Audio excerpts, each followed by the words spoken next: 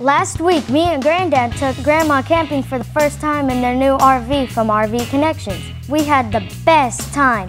The campsite was awesome. I met several new friends. I had my own bed and everything. Granddad says there's hundreds of campsites within an hour of their house. Grandma and Granddad love their new RV from RV Connections. I can't wait till our next trip.